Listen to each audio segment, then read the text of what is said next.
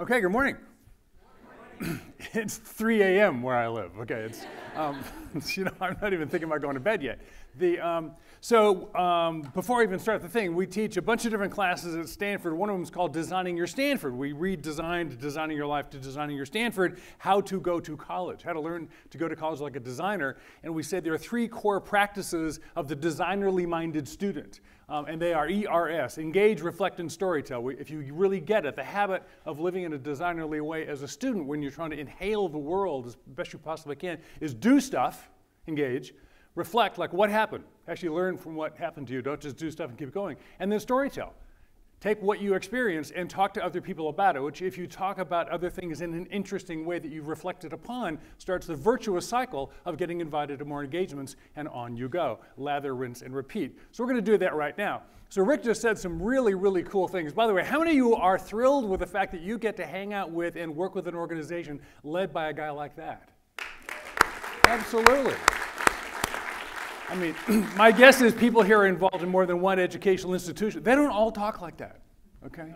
And, and they, you know, uh, so I think I'm really pleased to be here. So um, I want you to think up, I want you, we're gonna do, you just to engage, you'll listen to Rick. You're gonna do two reflections right now. I'm gonna give you 20 seconds to come up with two things. Number one, what most got your attention that Rick said? What most got your attention was most interesting to you? Thing one. Thing two, what thing did Rick say? It might be the same thing, to which you'd like to reply, hmm, that's interesting. Tell me more. Tell me more. So, what got your attention? About what would you say? Tell me more. Okay? You have 10 seconds to come up with those. Go. What's interesting? Tell me more. There will be a test. Three, two, one. Great. Reflections over. We're going to storytell now. Stand up and tell somebody one of those two things you just thought of.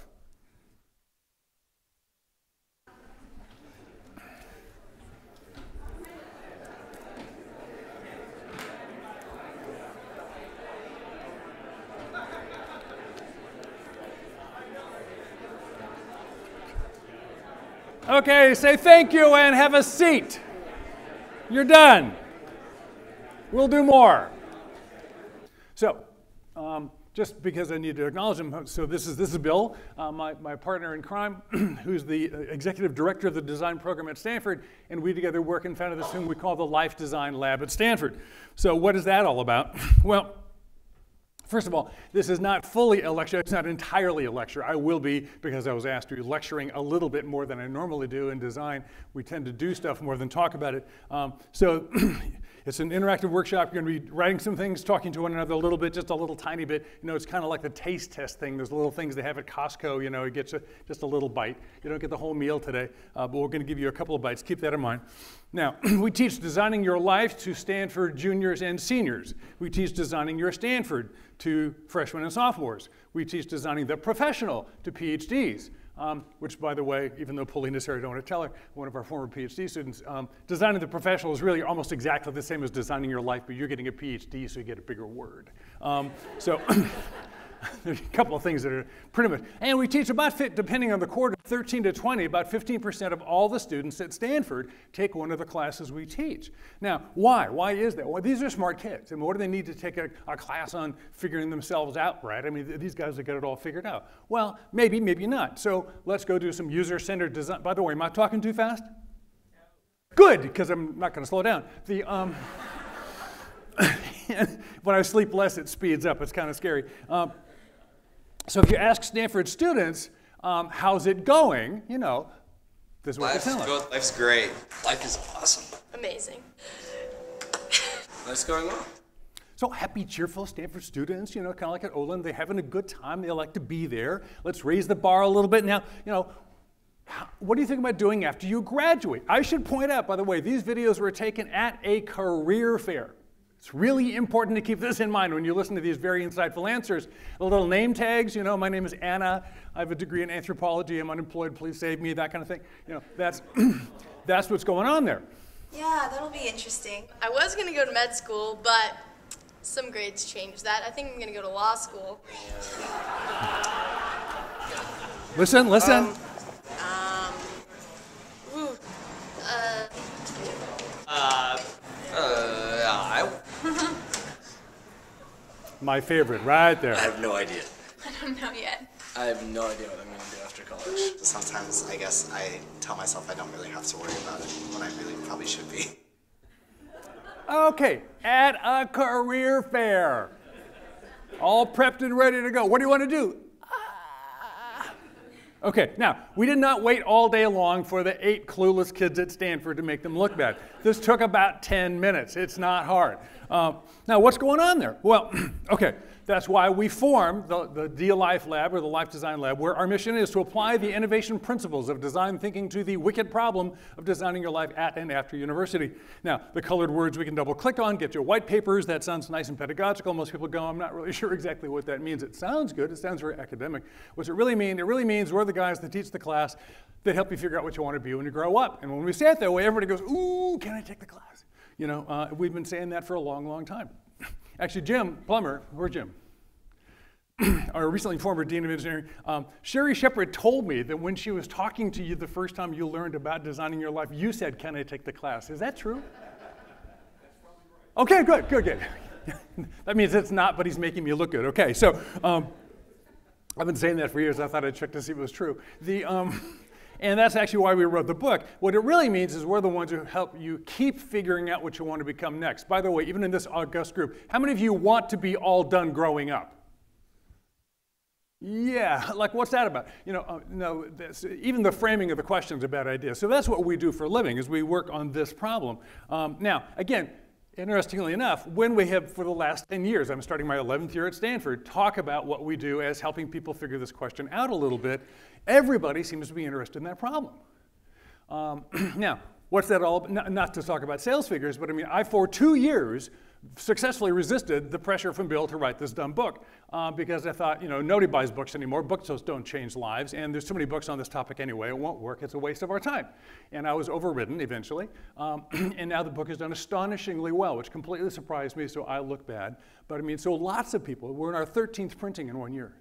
Um, which even the publisher whose expectations were really high has been surprised. You know, about a quarter million people are reading this book right now. Um, why is that?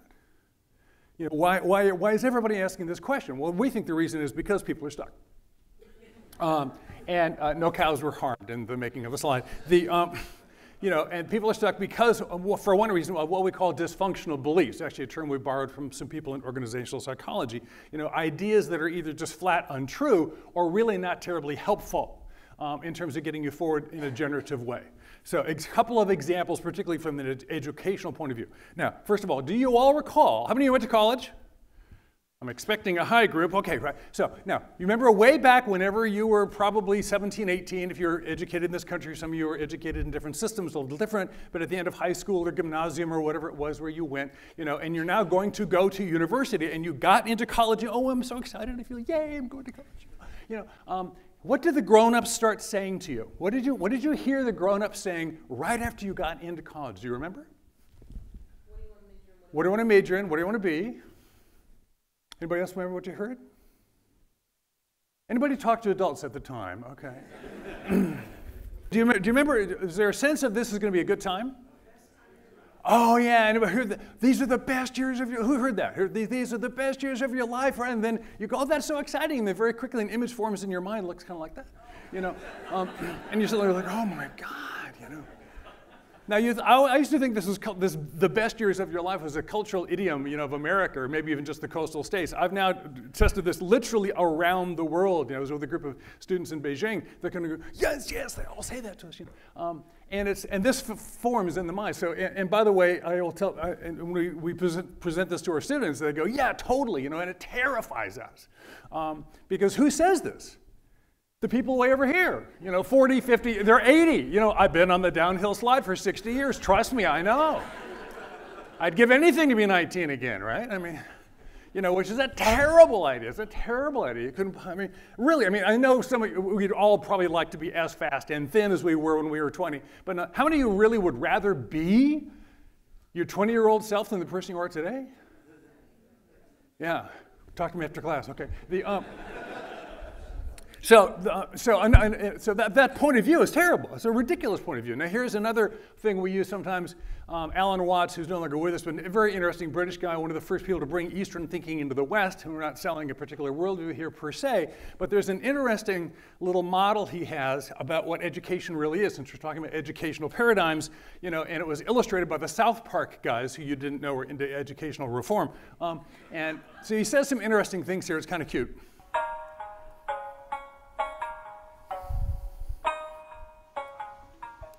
In music, though, one doesn't make the end of a composition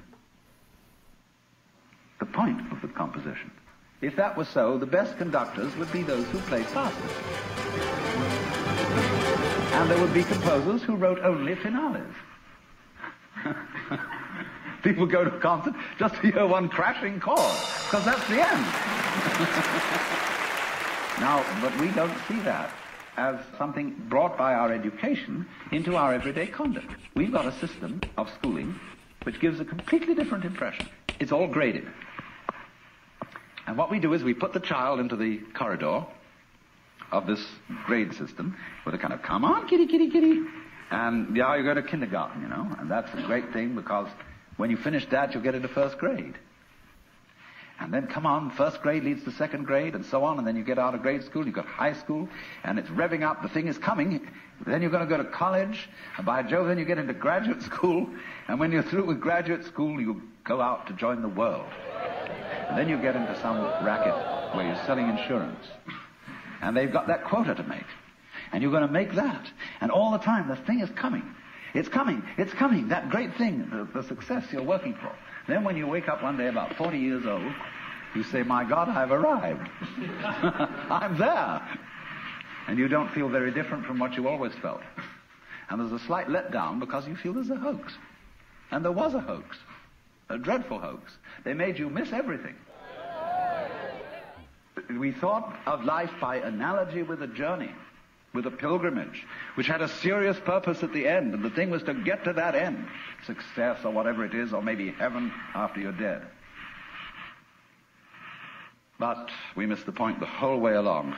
It was a musical thing, and you were supposed to sing or to dance while the music was being played. Well, the point is not necessarily to affirm his conclusion, but the point being that you know we're, we really try to help our students understand where are you coming from? What ideas did they give you? Do you believe in the point of view that you currently hold or not? Have you even stopped long enough to think about it?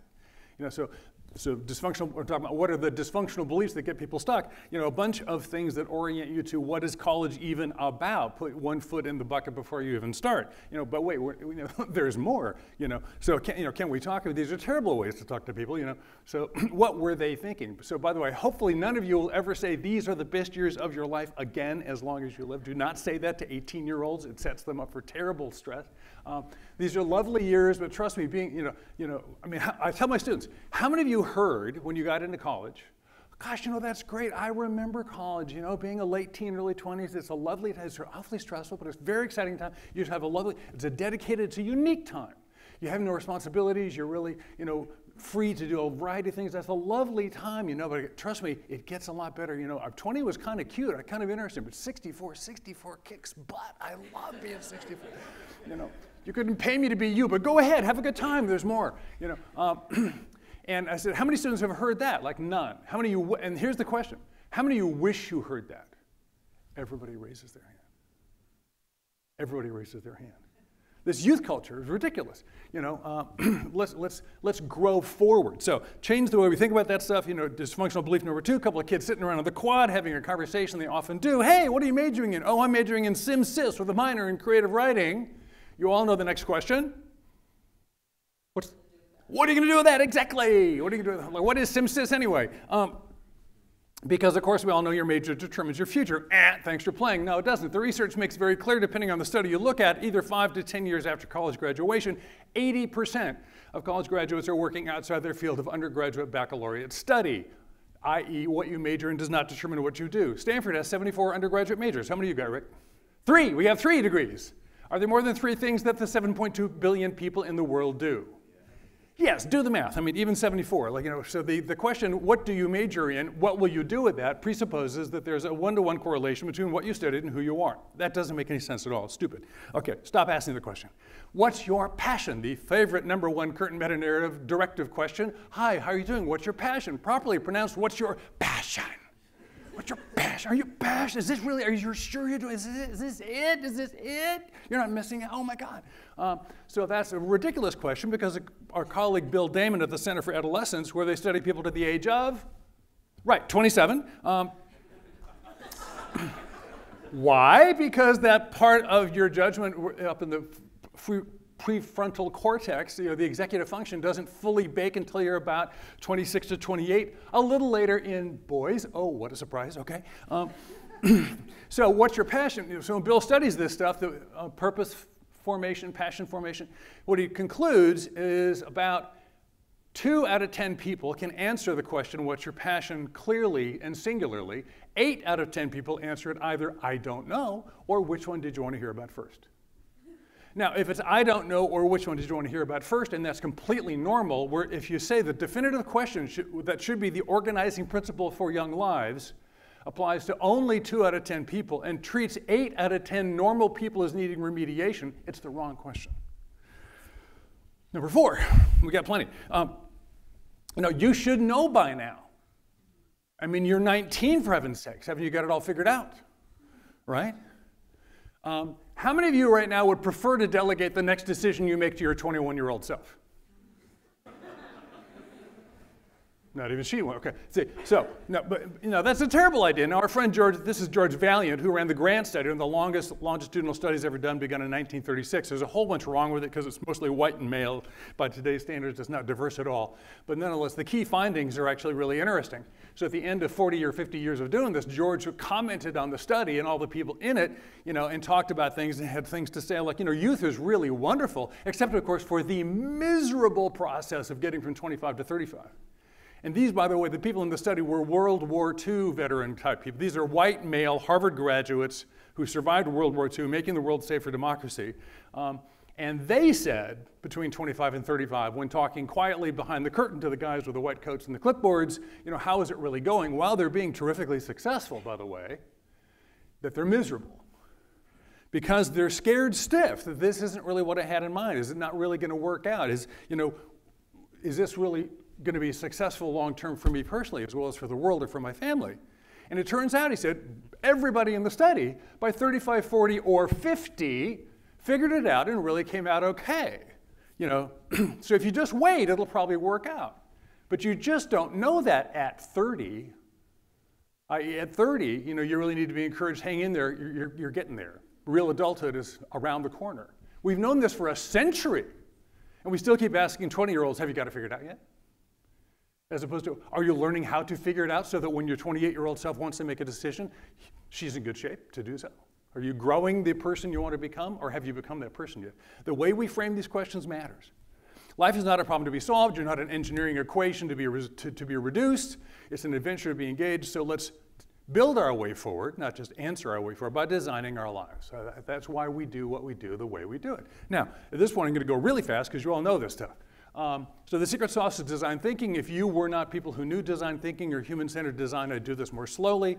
Um, but basically, one of the ways you can reframe design thinking, one, thing we, one thing we happened onto is the best way to help people get it about what design thinking is, is to identify what it's not.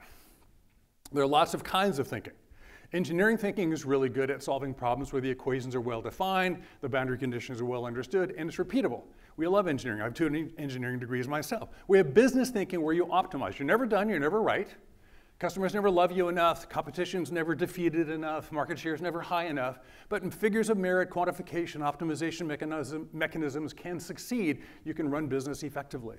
We do research, start with a hypothesis, dependent, independent variables, an analytic system, you know, getting down to either a result or the critical question to which there is no answer. And if you make actual progress, on a question to which no one has had an answer to ever before in history, we give you a prize. We call it a PhD. Um, it's an actual creation of rigorous knowledge. That's what a PhD is supposed to be. It's a really effective way of doing things. All three of these are really effective forms of thinking. They're tools in the box, mostly for tame problems. And who knows the, the technical distinction between tame and wicked problems? That's a technical term. It was developed by urban planners back in the 70s at Cal. Um, and wicked problems uh, there's the 10 attributes of a wicked problem in the long article. There's the six attributes of a wicked problem in the short article. Um, and what it boils down to, they're basically human problems. They're, they're basically, excuse me, they're technical problems that are well defined, where the criteria are clear, you know, they're repeatable and so on. But there's a whole class of problems that don't obey those rules. They're called wicked problems that are messy, where the criteria are not known until you even have the answer. Once the answer is found, you can't repeat it again because it doesn't re- reapply. I mean, you can't put Singapore and Cincinnati and expect it to work if you're an urban planner. And we call those, you know, wicked problems things where you build your way forward, and design thinking is really good for that. It's just one way of thinking. It's, it's not the new religion, it's a technique.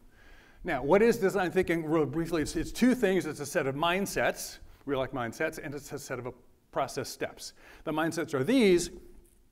Again, very briefly, you know, we start with curiosity. Why? Because that's where the energy is, not necessarily where the most strategic thing or the riskiest thing or the most valuable thing or the most unknown thing, the most curious thing, because that's where the human energy is that we can draw on to keep the process going. We radically collaborate. That doesn't mean we do radical things. It means we radically listen. We tap into every single point of view available. We want to make sure we hear from all the experts before we get started at all, which will probably invite us to reframe things and think about it in a different way. We do so mindful of process. The most important mindfulness is to remember when am I deferring judgment and when am I using judgment? When am I flaring and going wide, and when am I focusing and going narrow? To, Got to keep that in mind. And learning how to defer judgment and catch yourself in the act of doing it and holding it off is a crucial skill. And when in doubt, do something. We'd rather do it than think about it. We'd rather act than analyze. The process is this these five steps. Caterpillar has been around for a long time. We started the design program at Stanford in 1963, I believe. Um, David Kelley, our senior tenure professor uh, in design, is the third generation guru of design at Stanford. He comes on the heels of Bob McKim, who really built the program, uh, who, and it got started by John Arnold years ago, actually from MIT. And John started it the way we start lots of things in Silicon Valley. He couldn't get approval, so he just printed his own letterhead and did it anyway. Um, so we just invented ourselves. Um, but we start with empathy, problem find before you problem solve. Rick has already mentioned that. Then you define where you're coming from. Then you have a whole bunch of ideas. Pick the ones that are really worth investing in a little bit. Prototype them over and over again. We'll talk more about that. And then finally test before you visit them on the real world. We always believe in and state more explicitly in life design step zero, which is accept. You have to start from where you are. You cannot solve a problem you're not willing to have. A lot of people don't like their problem. That's not solvable. If you've got a problem with your problem, that's a problem. Um, so you got to get over that. And particularly in life design, well, I don't, I really should be someplace else. Young man calls me named Tim and says, Dave, I understand you can help me. You know, John said, you're a helpful guy. I said, well, that's very kind of John, but Tim, what's the problem? He says, I'm three years late. I said, no, you're not. And he goes, yeah, I am. So we argued for a year um, about whether or not Tim was here or late. Fortunately, at the end of the argument, I won. Otherwise, he's four years late and we're in real trouble. Um, but you know, you can't, you can't solve a problem you're not willing to have. Now, how do we actually design our course? What's the course framework, as we call it? We start with that design process, but you know, when you any process, of course, any engineering mechanism is a metaphor right? It's not a completely accurate description of reality. Newtonian physics works just fine in a certain context, you know, but it, of course all metaphors run out of gas when you get to the boundary conditions. And design thinking as originally conceived, when you're doing something as squishy as a life design, there are a couple of questions it doesn't answer entirely, so I had to augment it a little bit with a, the meaning making layer and the discovery and support layer. The meaning making layer includes your point of view, your work view, as we call it, and your worldview. What are the values that inform your answer to the question is this working for me? When you wake up at three in the morning and you're running to the bathroom, you flip on the light, and the person staring back at you from the mirror is asking the question, How did we get here? Or why are we doing this? You want to have a good answer for the question, you know, and that comes from that top layer. And then how you get there, how you figure that stuff out, you need a system in place, an infrastructure, an ecosystem to form, you know, continue forming that life you're trying to live, which is, you know, your personal practices for thinking this stuff through, how you discern and make decisions that you really feel good about, and who are the people around you holding that process up. So we inform all of that as best we can, and the class is a whole bunch of stuff looks like this. That's the, that's the syllabus right there. Um, literally, that's the syllabus of the class. Um, and we do exercises and, and around all that kind of stuff. Now, is it time for the taste test yet? I mean, as lectures go, that was really long. Uh, for one of our classes, that was an awful lot of talking in one row. Yes, it's time to finally do that taste test thing. So let me jump right into the curriculum of the class with no particular segue. Say there's a, one of the questions we address is where do I fit? Where should I be? Answering this, what kind of contribution do I want to make? And is this really where I want to be? But the, the place that this person's trying to get to is not a geographical place. It has to do with meaning and location. Am I in the place where meaning can happen for me? And it brings up a couple of issues. So in that framework, you know, what's my point of view and how do I define my role in the world? You know, how do I answer those questions in terms of the place? Am I in the right place? Which means it's time for us to draw the impact map. So a different way of locating yourself than you've probably seen before. So let me describe this map because you're about to do one. Uh, go ahead and pass those out now, uh, Nancy. So you're all going to get a form. I'll explain to you what's happening on that form because you're going to fill it out. On the horizontal axis, we have the type of impact you make in the world. A couple of different types of impact. on one end, there's I'm doing new stuff. I'm installing newness in the world. I'm bringing things to bear that weren't there before. I'm value adding in sort of an, uh, that's an offensive mentality. On, or I am fixing problems. I'm getting rid of bad stuff. I'm filling in potholes. I'm solving things. I'm getting rid of things. That's more of a defensive mindset. Or I am sustaining and upholding things that deserve to continue. We need all three of these. There's, there's no moral pre, uh, uh, preferable position here. We need to get rid of bad stuff. We need to install new stuff. We need to take care of good stuff. Different types of behavior. On the vertical axis, we have my point of impact. Where do I actually engage with the world? Near or far? By near, I'm talking, I want to see the whites of their eyes. Uh, I might want to be involved in solving poverty, but what I really want to do is I want to see the, the change of expression on your face when I put the soup in your bowl on the soup line. Or do I want to sit back and kind of go, yeah, that's the right way to say it when I'm writing the article about policymaking in a windowless basement in the West Wing, talking about what's going on in public policy, you know, in a, in a national department, or working on a task force at the UN. That's all the way up at a far, I'm far away from the point of engagement. I'm doing this at the global level. Let me illustrate with some examples. And by the way, these are roles that locate on this map, not people. People are all over the place. So, for instance, let's say I'm an investment banking systems analyst. I'm working at the institutional level, the institution of the banking world, and I'm probably running things the way we always have. I'm getting really good at doing this private equity thing, getting really good at this capital management thing. That's what I'm doing. That's where I sit on the map. I'm at the Gates Foundation and I'm the program manager for the malaria project. I'm trying to rid the planet of malaria. If I get all done, all, that, all we have is the same place, just no malaria. That's our global level remediation. I'm a brain surgeon. I'm a very, very sophisticated, high level person who's in the absolute bottom left of the, of the, of the, the program. I'm working at the individual level, working on individual brains, remediating tumors. When I get done, if you're lucky, you're almost as good as you were before. I'm not making you any better uh, than you were. I'm just remediating that problem. And by the way, brain surgery is massively non scalable. It's one of the areas that's not particularly robotic yet. You know, it takes a long time to make a brain surgeon. They do like one surgery, you know, at a time, a couple a day at the most. You know, it's really a very inefficient industry. Uh, I'm a homeless center chef. Uh, who actually cooks in the kitchen for our homeless center, and I train our residents to become chefs while we do that. So I'm, I'm working at the group level, I'm working maybe in a town, I'm dealing with dozens of people at the most, you know, making them a little bit better, you know, on their way back to where they deserve to be, but we're not anywhere near done. You know, I'm the Google Autonomous Car project lead. I'm trying to fundamentally alter transportation in a very, very new way. But of course, you know, that's not quite global because not everybody has a car, not everybody even has a road. You know, it's a big deal, but it's not a huge deal. Um, I'm all over the place. Now, if I'm Dave, and I'm teaching designing your life. I'm operating at the group level at Stanford. And, you know, you know, we've taught a couple of thousand students over the past few years at our university. Um, making a bit of a difference. If I'm the higher education thought, if I'm talking to you today, You know, I'm actually now having an impact, hopefully, on education, and that actually occurs if the kind of things that Rick's talking about actually happen. If that consortium makes a bigger tugboat and we actually move the aircraft carrier, that's actually a bigger impact than just the students at Stanford, you know, at a higher level. Um, the book, I wrote the book, you know, well, how powerful is a book? Well, you know, it just kind of lies there. Uh, you know, I'm not sure it's that big an impact on people's lives, but it does talk to more people talks to a lot more people. You know, in one year, I've spoken to about 100 times as many people as I talked to in the decade before that. That's a leverage point. Now, so I actually occupy a domain. Most people actually occupy a domain. You're, you're in more than one role at the same time. I'm at least three people. Um, schizophrenia is really like a feature. Um, uh, and so that's the map. Now, that's kind of complex because people haven't thought this way before. Is what we're getting at here clear? Is what's going on on this map makes sense? Now, you'll notice there are no units. And by the way, depending on the narrative you pick, you know, that brain surgeon could tell me why he deserves to be in another place. That's fine. I don't really care. It's really your point of view about this. So we're gonna, the exercise you're going to do is right now, what I want you to do first is write down a number of roles you have had or roles you anticipate you might.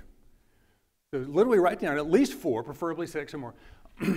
if you haven't got a pen, uh, the team, there are still boxes of pens. If you're pen free, raise your hand, we'll get a pen to you. Okay. The MIT guy hasn't got a pen. Come on. Um, can we get a pen here? All right, there we go. Um, so write down different roles you have had and put in there a couple of roles you're imagining you might have in the future, including even those completely alternate roles. You know, eventually I'm going to drop all this and become the next Cirque du Soleil clown. I'm going to go into equine therapy, you know, whatever it might be. Now, once you've got a list, then map them. Right? Just put them on the map as best you can. Keeping in mind, and this is the hardest part about teaching this, by the way, this is our newest tool. Um, there is no better place. There is no moral valence hiding. And up and to the right is not better. You know, big new is not necessarily better than renewing small. This is, they're just places, okay? So according to you, where would you put those roles on this particular map? Where do they engage? How do they engage with the world? Not infrequently, somebody will tell me, gosh, way, depending on the way I say it, Dave, I could put the same role in two completely different places. That's great. Put them both down, call it A and B, we'll come back to that. Because this has to do with picking your internal narrative. Okay, now, once you've drawn that, what I want you to do is our, our, favorite question, we do this question all the time for reflection, what do you notice? I already asked you this once. What did you notice about Rick's presentation? So just look at that thing you just drew, almost as though you hadn't been the one who drew it, and let your eye fall on, huh, what do you notice? What insights or questions surface for you now that you glance at your role landscape? It's all over. They cluster. I still don't get it.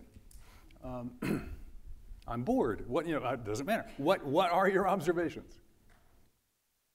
So, stand up, grab somebody, so get, in, get into a pair, or if you're in a bad corner, a, tri- a triad, but try not to be alone, and, and just uh, what, do, briefly show somebody what your map looked like, and here's what I noticed. Have a short conversation about what you just did with the person next to you, starting now. If you're in a lonely corner, go find somebody. Give you about five minutes for that. Okay, how many of you would say that was interesting? That was an interesting conversation. How many, how many say, oh God, you know, I just, I, I just worked on this yesterday. You know, it's, we're doing this again.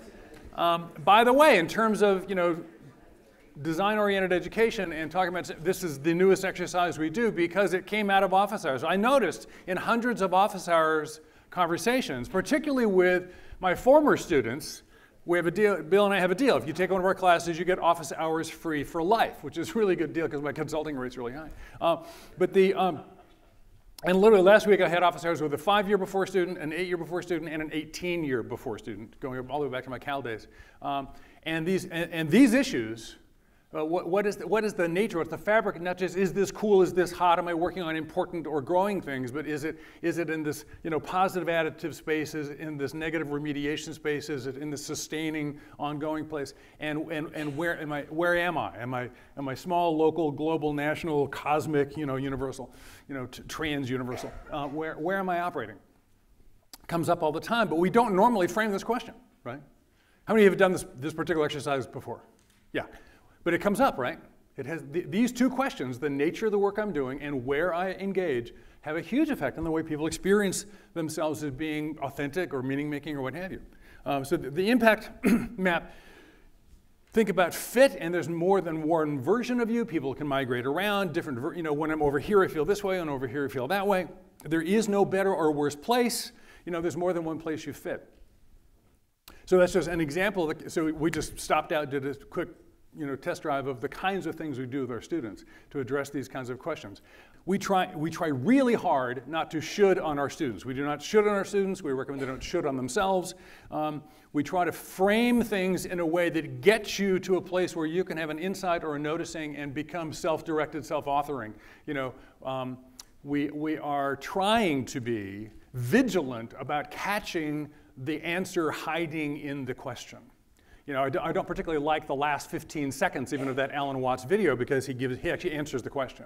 Life is for. He actually answers the question. We try not to answer it for you. We try to get you better at answering it. That's the whole point.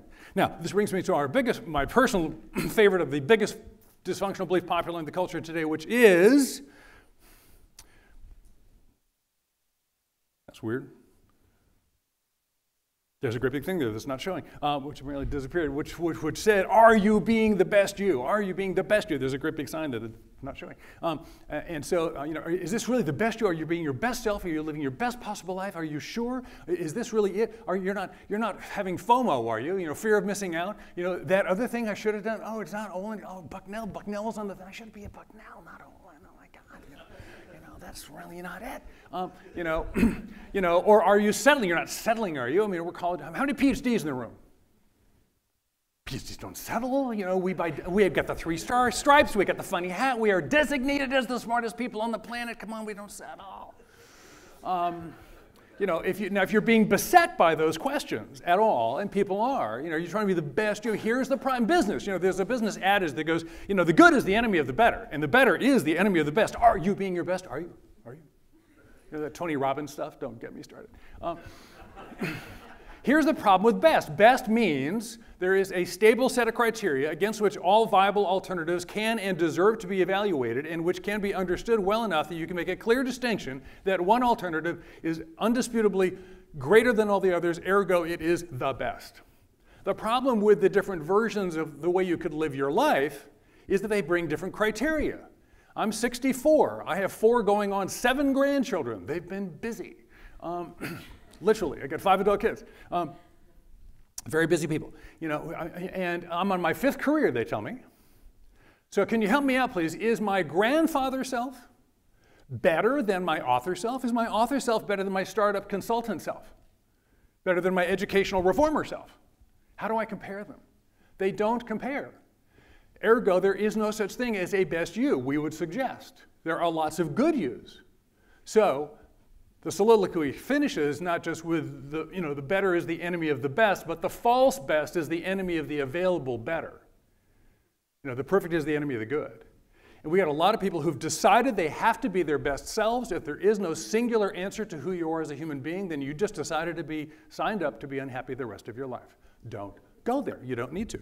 Um, so, In fact, we actually do an exercising to skip this because we haven't got time, um, to help people actually figure out, we do a Gedanken experiment uh, to actually come up with how many different lives you could actually be. If there were in fact a, let's just do it really fast, you guys are smart. Okay, assume the following two things are true. It is a multiverse. There are infinite universes, angstroms apart in the 19th dimension if we but knew how to measure it. You know, and the wormhole thing turned out to be true. String theory is right. In fact, we now have access to that epistemologically, so you can have concurrent consciousness in all the universes if you want them. And you can be in as many universes as you want. One funny rule, however, it's kind of like open table, you have to reserve in advance. You have to. So you can be as many people as you want, as many versions of you as you want. We keep observing there's more aliveness in each life that we meet than one lifetime permits you to express, i.e., there's more than one of you in there. So how many of them are there? Let's say the life you're in now you really like. You do that again if you could. My daughter Lisa, now 30, when she was five, thought spending her first day at Disneyland with 42 trips on Dumbo was a good use of time. You know, so let's go do Dumbo 42 times, Dad. Okay, great. Um, so if you want to do Dumbo 42 times in 42 universes, you can do that. If you want to be your PhD self, you want to be your counselor self, you want to be your artist self, however many slots you want, you can have, but you have to reserve in advance. So I'm going to go one, two, three, and when I would have said four, I want you to shout the number of how many life slots you'd like to reserve in the multiverse. As many as you want, but just not past that point, like, I don't know what I'd do with that one. Okay? Get a number in your head. I know it's not an out loud kind of crowd here, PhDs, but please strongly shout your number, own your number. Okay, one, two, three. I heard 8, 5, 15, and 100, so the median is 29. The, um, which simply means, you know, if the number is anywhere north of 3, you're mostly not going to happen.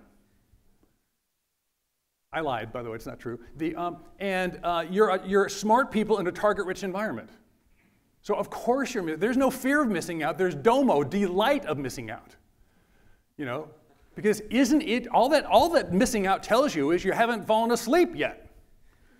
Ooh, how cool that the world is still going by and I get to own what I'm really doing. So we flip the thing around. It's not about what you miss, it's about what you do. Of course, cool stuff's going to go by. Might that have been better? Sure, because you haven't got perfect knowledge about the future. That's not the question, you know. Now, because there's so many of you, the reframe is that there are lots of great yous. It's never too late. Let's get going on the odyssey of your life. We call it odyssey planning. So when we do design, we ideate your odyssey plan. We ideate your future. Oh, no, we can't do that. We have to ideate your futures because there's more than one of you. We restrict you to merely three. Now, in, we do this class, by the way, in 20 hours over 10 weeks. We do it in 20 hours over five days. We do an intense version in eight hours in one day. Um, and in the one day version, we actually start the Odyssey planning. We do have you do three different versions of your next five years, com- three completely different versions of you in 12 minutes. Um, we're not doing that exercise today, uh, but that, it works great. We've done it with thousands of people, and it turns out it either takes about 12 minutes or two weeks to do this assignment. You know, think long, think wrong. So capturing people's quick thoughts can be really illustrative. So we actually have a timeline I'll just run through what this exercise is because it's really the capstone exercise of the class. It's the centerpiece of our, of our paradigm, really, so you need to understand it. So it's really just a timeline, zero to five years. You put down on that, I'll give you an example. Um, the milestones personally and professionally, it's not just design your career, it's design your life. You know, and then of course you would name that because once you look at that experience of life, it's got a certain narrative to it. And then you actually do the dashboard. And the dashboard is a feedback loop so you can actually get your own readings on your own ideas. That dashboard is a little unusual. the dials are from zero to 100%. Do I have the resources? Do I have the stuff necessary to pull the plan off? Uh, what's my temperature on this? Does, am I hot? Am I cold? Do I like it emotionally? What's my confidence that if I actually do this thing, it will work? But wait, the smart people say, isn't confidence and resources really the same thing? Sort of, but not really, different sides of the coin. The resource dial is the objective analysis of the availability of the tools necessary.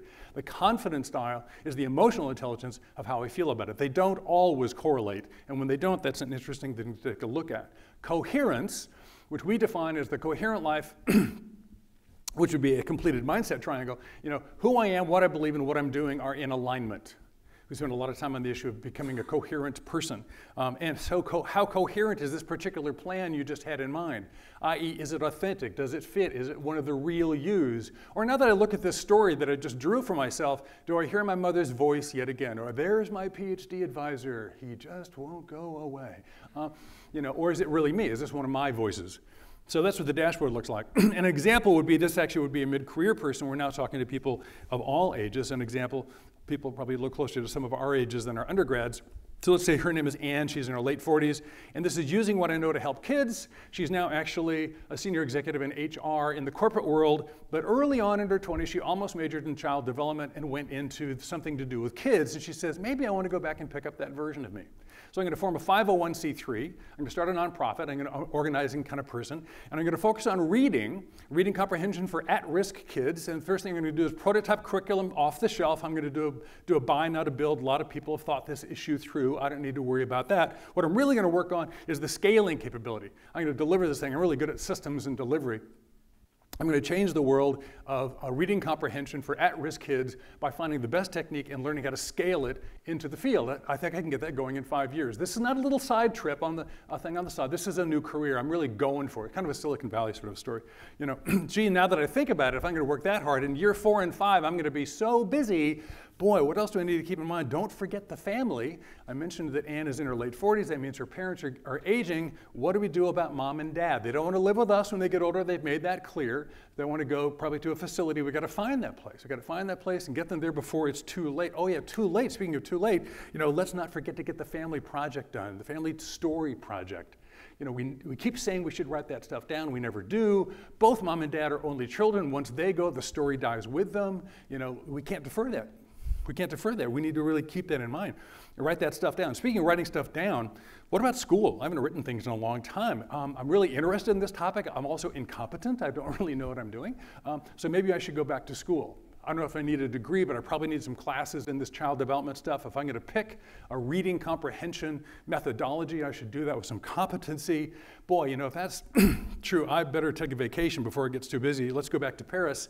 Dan and I said in our honeymoon in Paris, we're going to come back every five years and renew our vows. Kind of never happened. You know, let's go get that done before it's entirely too late. And on the way home, let's stop on the Galapagos because I'd like to see them before they're submerged. Um, and frankly, she just literally uh, had some white space left. She goes, Man, if I do all that, that's pretty cool. I should write a book. Um, you know. Now, that's a fairly full life, but literally it takes about three, four minutes to do that. Then she says, How do I feel about that? Well, resource wise, you know, I'm in pretty good shape, but I don't have this stuff all figured out yet, but I know how to organize things. I like it a lot. My confidence is really reasonably high. My coherence is fairly good. When Anne was being honest with herself, she said, Here's my real question for myself. First of all, do I really want to get this busy right about the time my parents are aging? I can't reschedule their elderly years. But the really hard question is the more I look at this, I go, Do I really want to do this? Or do I like remembering I wanted to do this? Do I want to be this person, or do I get a kick out of pretending I want to be this person? I love the noble story of the child developing youth that I was in my 20s. Maybe I don't really care. You know, do I really love these at-risk kids? It looks messy to me. You know, running companies is a lot easier. Do I really mean this? Do I really mean? She's got to go a little, you know, have kind of a, a come to Anne meeting with herself. Um, that's what this process wants to help you do. Now, we say three versions of it. Maybe even the person who said 29 yeah, but I have to write down three. So when people have a hard time coming up with three different versions of themselves, we get them a template. We actually don't show this to our students much because they don't need help coming up with three versions of themselves. That's not a problem. They often say, can I have a second sheet? Um, so if, if you have trouble with those, say thing one, probably just a great version of the next five years of the life you're already in. Assume for the sake of pure ideation, not planning, uh, that things are working fine. And then just assume whatever it is you're doing is over you know, that the game is over. You know, it turns out Rick and the boys and the AI guys got together and they completely figured out this experiential education thing. We don't need faculty anymore. We got this done. The students can do it all. It's great. You know, we have mind transfer. The content just goes right across. Then it's all process led. Turns out we get the process facilitated well enough. We don't even need professors. It's a great savings, as it turns out. Um, so, so that whole thing's like over. So thanks for coming. Go home. Um, you know, how many of you actually lived through, used to do a job nobody does anymore because it's over? Who used to have a job that is, you can't get again? Yeah, I've done that three times. Um, so it does happen. So just what would you do if you had to do something else? And the last one is the wild card thing the other. What would you do if money and regard were no object? If I could promise you there'd be enough money, not a ton, but enough, and they won't laugh at you. No, really, they won't laugh at you. What would it be? And most people have one of those. Now that brings up something that we're well known for in design, which is this whole idea of the wild idea. Why? Oh, you guys love wild idea. You love all those post-it notes, you know. You know, uh, how many of you have been to the meeting? The, how many, who's done brainstorming? How many of you have been to the, the following brainstorming meeting? We get together, and we pass out the little pads, and we talk, and we, have, and we get the whiteboards covered with post-it notes, covered with post-it notes. Really great. Go, wow, look at all the ideas. And we stand back, and we get out our iPhone, we take a picture, and we upload it to the cloud, and then we go back to work. Who's been in that meeting? Okay, that's not brainstorming, okay? That's steps one and two with no outcome. Uh, that is not brainstorming. That's why brainstorming gets a bad. We are not into post it wastage. Brainstorming is not about post it wastage, it's about actually having ideas for a reason. One of the reasons, not the only, I'll remind you of here. Why the wild idea? So design kind of gets this rap for being silly, you know, wasting, you know, post-its and coming up with ideas that don't work anyway. That seems, that's what designers seem to like to do. No, that's not it. The reason is because of your brain. Is your brain on ideas. So you have a nice black and white idea, a nice solid idea, and that part of your brain that's always watching you, always making sure you're doing the right thing, you know, the internal critic says, Good job, Dave, nice, appropriate idea, continue with caution, I like what you're doing. And then you have this wild, multicolored, tie dyed idea, and that little guy inside your head kind of goes, What is wrong with you, Dave? Are you, that, here's, here's five ways this is not going to work. That, don't say this in public, you're going to embarrass us. You know, what are you, what are you doing? And when you do that, when that part of your brain kicks off, it literally erects a barrier and the part of your brain that should be heating up and having ideas cools way the heck off, and behind that barrier are a whole bunch of hidden ideas. Now, we don't know for sure that the killer idea is back there, but it might be. So, the idea about wild ideas is not that the wild idea is better. Sometimes the wild idea is a great idea. Sometimes the wild idea minus some craziness, just one click back from the crazy, is actually a terrific idea. But that's not an assumption. The assumption is if you can't afford a wild idea, you probably drowned a whole bunch of other ones without even knowing it. So you have to force yourself to have wild ideas. It calms the internal critic because you want access to all your ideas. That's why we do it that way. Now, then we have you do it, 15 minutes go by, we have you debrief, have a conversation. This turns out to be a seminal moment in the experience. So the point of that is there's more than one of you. Don't have just one idea. Having more ideas generates better ideas. I want to get you to break pretty quick here. Um, now, well, of course, once you've got all these ideas, holy cow, now how do we choose? Right, the next thing clearly is make a choice. Wrong. No, we don't make a choice. We now move to prototyping. We go from the flare, right, of lots of ideas to starting to focus in on what do I actually want to learn more about. And this is why I want to make a distinction between a design prototype and what I call a late stage engineering prototype. The word prototype applies to lots of different things. I want to make sure we get the right image. We prototype in design to ask interesting questions, expose our assumptions, get other people involved with us, and in life design, sneak up on the future. I remember who it is, uh, Bill often quotes, and he remembers who said, you know, the future is not unavailable, it's just unequally distributed. There are people living in the future you're imagining for yourself today if you could find them and have a conversation about it. Now, if you're Elon Musk, maybe there aren't any of those people, but you know, there are some people who are, a lot of people are already working on things you're thinking about. So we prototype for those reasons, not for the purpose of testing out does it really work. So a late stage engineering prototype before we put this new you know, jet engine on an airplane with people in it, how about we spin it up to 3x you know, normal speed inside a cinder block thing, throw a goose through it and see what happens before it kills anybody. That's a late stage engineering test prototype. Really good thing to do. Design prototypes are really early they, have, they always fail because the only reason they're built is to learn something about stuff we knew we didn't know. We know we don't know what we're doing. We know we've made assumptions. We just don't know what they are. Let's go flesh them out by doing these design prototypes. You know, in life, it is really improv theater. We are making it up as we go along because nobody knows the future. So it's got to be iterative. Design thinking applied to life design is just learning how to do a really good job of making it up as you go along getting good at the improv of life. So a good prototype, therefore, is cheap, fast, and actually learn something. Now, there are two kinds in life design, very simple. There are conversations and experiences. By conversations, we mean just go get the story, uh, an informational interview, if you will. And that's very easy to do. Uh, and then go try something. So uh, let me illustrate. What do you prototype? You prototype where your curiosity takes you because that will keep the process going. So if Anna looks at this and goes, just says, what gets my attention? The first thing actually was write a book which she put down, frankly, as a joke. Literally, the woman who did this put that down as a joke because she had some white space left. She goes, but, but I notice my eye keeps looking at that. I'm so curious about that. Easy thing to have a conversation with. Go find an agent. Go find an author. You know, Bill and I had never been in book land before. It's very strange territory. Um, and so we met a bunch of these people. What's it going to be like? That's one of the reasons I spent two years trying not to do it. Um, because it's really hard. Who's written a book here? But, but yeah, it's awful. Um, the, um, if you're like me. You know, other people seem to like it. Um, but nonetheless, you can go find that out through conversations. Now, she also thought this going to school thing was kind of interesting. She hadn't done that in a long, long time. And we said, you should experience that. And that's not that hard to experience. You can audit a class. You can even get a professor to let you write a paper or two if there's a friendly out there. We set her up in a couple of situations. And sure enough, she went out there and she tried it out. Turned out what she was really afraid of, picked on, She'd never been the popular girl in school in the first place, and now she's going to be the old unpopular girl. She thought that you know, these millennials, apparently they're nasty. You know, I, I don't know millennials. You know, uh, what are they going to do to me? Well, it turns out they thought it was really cool she came back to class. She was, for the first time in her life, the cool girl in class. It had never happened before. She thought it was fabulous. You know, and she forgot she loved learning, and she's pretty good at it. And that took about six hours to really get a good hands-on experience. It was not that hard to come up with. So those are what life prototypes can look like. Um, now, you know, if we had time and you had actually done that exercise, we'd actually have you circle those things uh, to think about what is it you might want to go learn more about.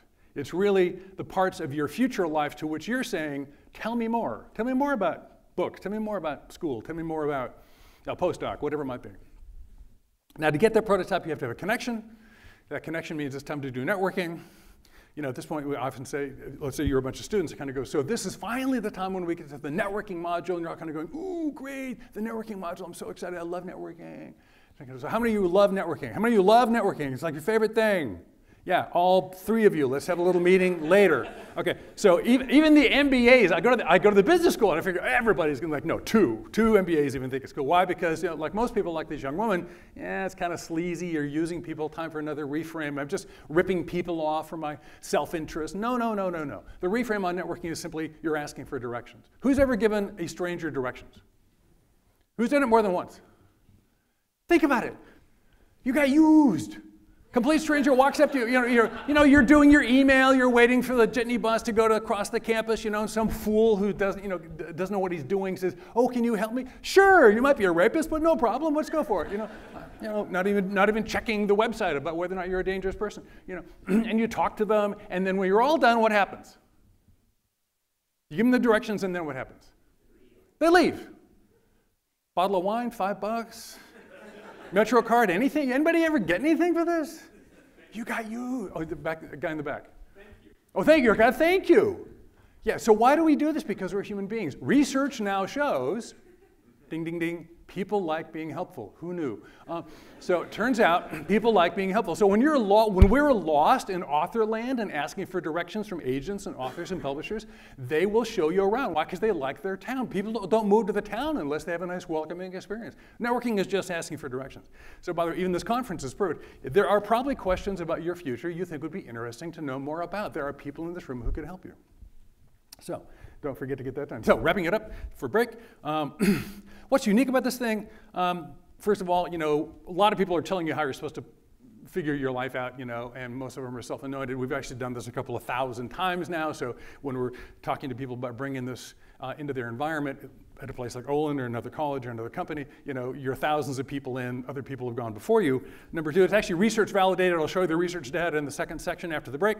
Um, so, you know, we don't actually believe in alternative facts at Stanford. We think like real facts are pretty handy. Um, so we use this thing called data to get them. Um, and we have data that says this really works, not just trust me. Um, and oddly enough, having started the design program at Stanford in 1963, um, you know, many, many years ago, uh, human-centered design, you know, what's a human problem? Oh, I know, being a human. How about we do human-centered design on ourselves? We never pointed, you know, the tool back at home uh, until we thought this up about 10 years ago.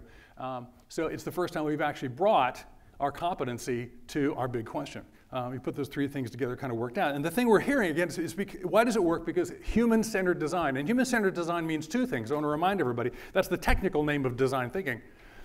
The human um, adjective, human-centered design. The human-centered part is two, there's two humans we're designing for here. The designer and the user. So human-centered design is thinking, how do human beings think? That's that wild idea stuff. How do they think? How do they work? How do they collaborate? How do they innovate? How do they do the process of creating things? How does that actually work? Let's, let's maximize for that. And how do we make those things for humans that can really be used? So let's humanly design for humans, is what we mean by human centered design. So when you humanly design for yourself, it becomes really more workable. So again, what people have told us is it's actionable, and that actionability leaves them more hopeful. That's the, the two key things we hear back from people but when they, when they take this stuff and when they apply it with our students. So in designing a life, we're just trying to be a little more human in the process, ending with a more helpful and hopeful outcome. So at Olin, or in education in general, as we are working toward institutionally trying to become more, you know, passionate, STEM capable, connected, kale loving, innovative, world changing, and just downright dazzling, um, let us not forget to try to be a little bit more human. That would be a good thing.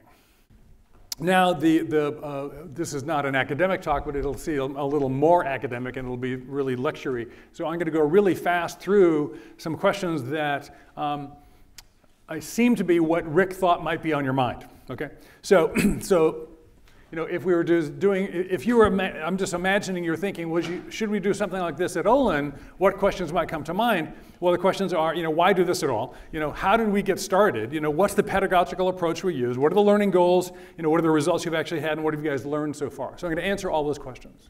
Um, are those reasonable questions? Okay, I mean, as soon as it's boring, let me know. Okay, I live in holy fear of boring people.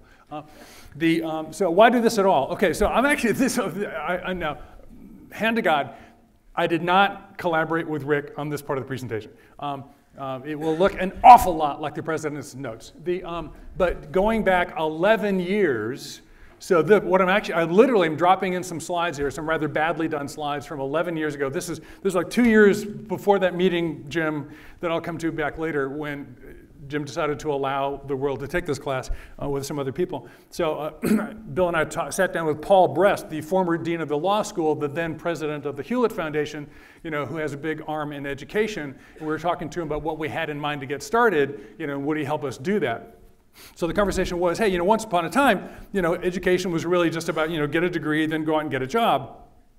But now, you know, students are coming out into a world where, you know, they're, they're having this, David Brooks calls the Odyssey years. That's why we call it the Odyssey plan. You know, this decade between 20 and 30, you're trying to find yourself, you're doing all this stuff, there's all these different issues. I might have more than one career, I might want to start something, I might want to have a job. It's a, it's a much messier world than just like the little guy that comes out of grad school and starts selling insurance. Um, and in that mess, you know, you add to that one of the big issues in the world that are really occupying students' minds these days. Again, this is 12 years ago you know, and, and, and the way we handle things is not working. So it's not about get a job. so, uh, so the opportunity educationally is to get, take that you know, education, career navigation thing and spread it out a little bit and reinsert formation you know, as part of what it is that we do in the institution. You know, so the, the opportunity is to restore, because this is actually going you know, back to the future, uh, the university's missional contribution of education and formation. Does this seem kind of aligned, Rick? So yeah, it has an Olin sort of a feel to it. Uh, so that's what we were talking about, you know, um, and Paul said that's really interesting, no. Um, so he doesn't, had no interest in helping us at the time. Not because it was a bad idea, but because he, was, he wanted us to go prove that Stanford cared enough that we get funded by Stanford before he would actually chime in. Um, so if we bring that conversation forward 12 years, you know, what do today's students want? What's on their mind? Well, actually, what they want is the same things we all do. So if you actually go to um, a colleague of ours, Dan Pink, who's really kind of a business author. He's sort of a business oriented Malcolm Gladwell kind of guy. He's, he's, not a researcher, but he's an aggregator. He wrote a very popular but, and well researched book called Drive, which is about people's motivations. You know, and in, in it, he actually refers to one particular study, which I'm going to give you a clip of. Um, this is a minute and a half of a 10 minute one of those talking whiteboard things where he's doing like his best 10 minutes. And let me set up what we're dropping into. He's talking about a study uh, that's been repeated many times on the issue of how does compensation correlate to performance. If you pay people more, do you get better results? Um, and it turns out yes to a point, and then it boomerangs in an unexpected way. So that's what he's talking about. So let's take the experiment. We're going to go to Madurai, India, rural India where $50, $60, whatever the number was, is actually a significant sum of money. So they replicated the experiment in India roughly as follows small rewards, the equivalent of two weeks' salary. Um, I mean, sorry, uh, small performance, low performance, two weeks' salary, medium performance, about a month's salary, um, high performance, about two months' salary. Okay, so those are real good incentives. Okay, so you're going to get a different result here. Well, what happened though was that the people offered the medium reward did no better than the people offered the small reward. But this time around, the people offered the top reward. They did worst of all. Higher incentives led to worse performance. What's interesting about this is that it actually isn't all that anomalous. This has been replicated over and over and over again by psychologists, by um, some extent by sociologists, uh, and by economists, over and over and over again. For simple, straightforward tasks, those kinds of incentives, if you do this, then you get that, they're great for tasks that are algorithmic, set of rules where you have to just follow along and get a right answer, if then rewards, carrots and sticks, outstanding. But when the task gets more complicated, when it requires some conceptual creative thinking, those kinds of motivators demonstrably don't work. Fact, money is a motivator um, at work, but in a slightly strange way. If you don't pay people enough, they won't be motivated. What's curious about there's another paradox here, which is that the best use of money as a motivator is to pay people enough to take the issue of money off the table. Pay people enough so that they're not thinking about money and they're thinking about the work. Now, once you do that, it turns out there are three factors that the science shows lead to better performance, um, not to mention personal satisfaction. Autonomy, mastery, and purpose. So that's the big takeaway: mastery, you know, autonomy, mastery, and purpose. How many of you would be attracted to getting more autonomy, mastery, and purpose in your lives? That's like attractive to you. Yeah, okay. Now, um, and then I'll ask my students, how many of you think that the organization you're likely to go to work for, you'll probably get a job, you, you probably won't necessarily work for yourself right out of school, whether it's nonprofit, government, wherever you go, that the management system, at the place you're going to land institutionally, that your bosses are lying awake nights worrying about how they can get you more autonomy, mastery, and purpose you know, and very few hands will go up. Now, the, the truth is actually, the good news is that's a rising tide. There are more employers who are thinking about this more. Uh, but the truth is, where do these things come from? They come from you. So part of our job is to, uh, in an educational system, empower students to actually understand what these things are, what they mean to them, and how to get them. You know, because you, you, you, your boss can't give them to you. Now, if, your if your working environment, if the, if the culture around you was supportive of these things, explicit in nurturing of these things, it's a lot easier. You know, so good job, Olin. Um, but you know, we're not there yet. Now, if you want to drill further in, this is again years old. So Jennifer Akers, who's a prof at our business school, works particularly in motivation. She's a marketing expert, you know, which is what is really on people's minds and studies markets. You know, um, by the way, one, one of the ways you know somebody is not a millennial is they said the word. Um, so the only people talking about millennials are the older people trying to sell them stuff. So overwhelmingly, it's a market segment. Um, and so when you look at them as a market segment, what do you discover about them? Well. Uh, people think that these millennials are mostly focused on happiness. It turns out that the uh, data is not really consistent with that. The data really paints the picture that what's really going on is they're interested in living lives defined by meaning more so than what people would call happiness. This is back in the early days of the positive psychology movement that really shifted from happiness to thriving as well. So that's been a moving target. You know, in 2011, a report from the Career Advisory Board said the number one factor young adults under 31 were looking for was a sense of meaning. Um, according to their managers, you know, it's not primarily motivated by money, but three quarters of young adults surveyed, according to managers, said meaningful work was among the most important defining attributes of their careers and their lives. So, how are we configuring and helping people to do that? So, again, this is the question: Why, why are we doing this? You know, is because as an educational institution, can you get there from here? Can you do formative things?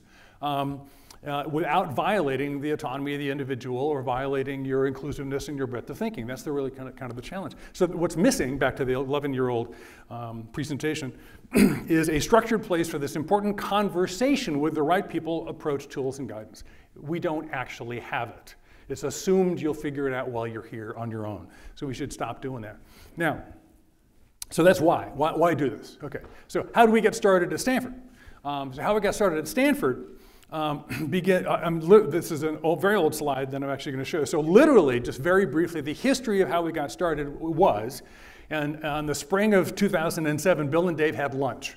Um, we had lunch because David Kelley got Hasso Plattner, the founder of SAP Software, the Bill Gates of Europe, to write a $40 million check to create a thing called the Hasso Plattner Institute for Design at Stanford, aka the D School. The, the institute working with graduate students uh, in interdisciplinary projects to push design thinking out into the world and learn how to do that, which was supposed to be a prototype to then create the one in Potsdam, Germany, which is the one that Hasso really wanted because he wanted a design institute in Germany. That's how we did that. Um, so David couldn't both run the design program, run the institute, and run IDEO at the same time. He could be two people, not three. And so he went to Bill and said, Bill, would you run the design program, the thing that graduates bachelor's degrees and master's degrees in, uh, in design at Stanford? And Bill jumped at the chance. I heard that. Bill's an old friend. I thought, well, they're just crazy enough to want to do something like this. Um, so we had lunch uh, which I thought was the first lunch of about a year of talking about this kind of strange idea about formation and using design thinking to move students into their own lives in a different kind of way. It's not really what we do in the university, but hey, you guys are kind of nuts. Maybe you could give it a try. Five minutes in, Bill goes, absolutely, let's go. We should do this. I've been thinking about it off and on for 20 years. I can't believe I haven't started yet. So we'll prototype it this summer. We'll start teaching in the fall. So in the fall of 2007, we taught the designer's voice to 12 kids. This is very, very, very small. Of, by, and for design students only. How to find your vocational voice as a designer. You know what design is, but you don't know which designer you are. How do you find yourself in your profession? Professional formation, that was the concept. It was really a guided imagery bull session on Friday afternoons. Um, and we then did that um, with grad students uh, in the winter. So we did that for the first year, then you know, we did it for another year, for two years in, teaching these little tiny, you know, sort of bull sessions with Bill and Dave with about 15, 20 students at a time. You know, and then Sheri Sheppard um, who's uh, in the ME department and cares deeply about education and prof- professional formation in STEM and women in business and what have you, um, is looking across and doing some things on the side. She actually collaborates with Patty Gumport, who is the vice provost of graduate education at the university. So Sheri's one of those triple threats. You know, she's an administrator as well as a researcher as well as a teacher, and she cares about that stuff a lot. She kind of goes, "Hey, what are you guys doing over there?" So the, what came out of that was we started teaching grad students. So engineering 311B, which is a course she was already teaching, we completely reinvented and changed the curriculum to sneak this stuff in when people weren't looking. Um, so right now we're just still running on the sneaky program. We're, we're, we're, talking a little differently on Friday afternoons in a room that most people don't pay attention to with design students who are already kind of crazy. That's fine. You guys go do what you want. You know, and then Sheri, who's into it, is hanging out with some PhDs. We're having this conversation. You know, but it's starting to get some visibility. About two and a half years in. You know, and so then we keep teaching these classes we've taught. We're into our third year. And then share, um, Julie Lythcott-Haims, the Dean of Freshmen, you know, and Sherry Palmer, who's the Associate Vice Provost of Undergraduate Education, kind of go, that looks really interesting. And then Lance Choy, who runs the Career Center, says, couldn't you do this for everybody? And we kind of go, okay. Um, so he actually funds and we develop a prototype of Designing Your Life in the winter of 2010, and then we start teaching uh, in the spring of 2010 for the first time, this the beginning of our third year um, on the campus, designing your life to any junior or senior in any major, come on down, and we've been sold out ever since. So that's literally how it starts. Um, it includes before even that meeting, because I was I've been teaching at Cal a little bit um, in an undergraduate special system, which is easy to crack and doesn't really matter. Um, the is, is called DECAL, Democratic Education at Cal. You know, started in the '60s, back when the animals ran the zoo and uh, we don't want to learn war no more. We learn anything we want. You know, so I was teaching in the we can learn anything we want system, which is easy to crack, but doesn't make big, an impact administratively at all. Uh, so students like it, nobody else cares. Um, and at Stanford, it's really hard to get in. And I sat down with an unnamed senior administrator, and he said, you know, here's the problem. You're probably not going to get a chance to do this kind of work here at all, no matter how you figure out how to do it. Uh, it's not the kind of thing we do. And if you do, go as fast as you possibly can, because as soon as they figure out what you're really doing, you're out of here. You know, you're going to get fired. And you've only got a master's degree anyway, so that's going to be easy. Um, you know, I mean, you know, basically an unemployed marketing guy teaching at Stanford. Um, and, uh, and, and we saw a significant shift in the mindset at Stanford about these things in real time. Um, and, and, the, and frankly, you could argue there are a lot of inflection points that led to where we are today. Uh, but I think pretty unequivocally, the, the, the, winning inflection point was in um, November of 2011. You know, with a meeting with 11 senior leaders of the, of the university and graduate ed, undergraduate ed in the School of Engineering. And Jim was there with, and brought Brad Osgood, his partner in crime from the School of Engineering. Um, and Bill and I briefly went through what are we doing? And, here is, and here's one of the problems we were addressing. We overwhelmingly teach. We do a little bit of research when somebody else will fund a PhD we can collaborate with, but we don't actually do, we don't have funding for our own research. And we are teaching stuff that matters to everybody. Like the humanities students love the fact they could get two units of engineering credit for learning how to figure out what to do with themselves when they graduated. You know? Um, and, uh, and so everybody liked what we were doing, and everybody liked the way the students were responding, and nobody thought it was their job to pay for it. Because it's not something we do. There's no place on the shelf for the life design function you know, of the university. It doesn't exist anymore. And so we asked, you know, a couple of different institutions on the campus, would you guys pony up a little bit of money so that we can start to not stop? Because frankly, these cool results we're getting are going to be over in about six months unless somebody finds a way to pay for a little bit of something. And bless his heart, Jim raised his hand, um, as two, did two of the key leaders, and that's how we got started. Um, but we frankly just did it on beans and weenies with very, very small groups of people. And it was not this clever, stealthy Trojan horse strategy, you know, for flipping the university and then getting to come to talk to you all. Um, it was like just where is there an unlocked bathroom window we can sneak in when they're not looking? I mean, it really is just, it was, it, it, was strategic opportunism. I wouldn't have done anything they let me do, but if there was something we could do that was on point, you know, and it could very well have never been anything more than just this kind of goofy little seminar with a dozen design students now and then taught once or twice a year. We did not know it was going to explode in our hands. So sometimes you just do what you can do and you see where it goes from there. It really was prototype iteration. Um, so that's how we got started. What's the pedagogical approach? Well, um, we still call it problem-based learning. I really like, I'm gonna go to DBL immediately, design-based learning, which is actually different. Um, but we bring up problem-based learning only because it's not traditional lecture. Um, and then the key thing for us is what we call the class architecture. So our class architecture we call the four C's, and the four C's are container, construct, community, and conversation. And the conversation, i.e. that thing happening around the table in the house we build, that's the picture of the house we build in designing your life, is the crucial moment. By container, again, we're trying to do this life design thing. We're trying to give you tools and ideas that will help you figure yourself out without telling you the answer. It's a tricky Goldilocks problem, not too hot, not too cold. So the container is what holds the conversation in. Well, it's ME 104B, it's two units, it's Friday from three to five. You know, it's, I mean, class is a great container.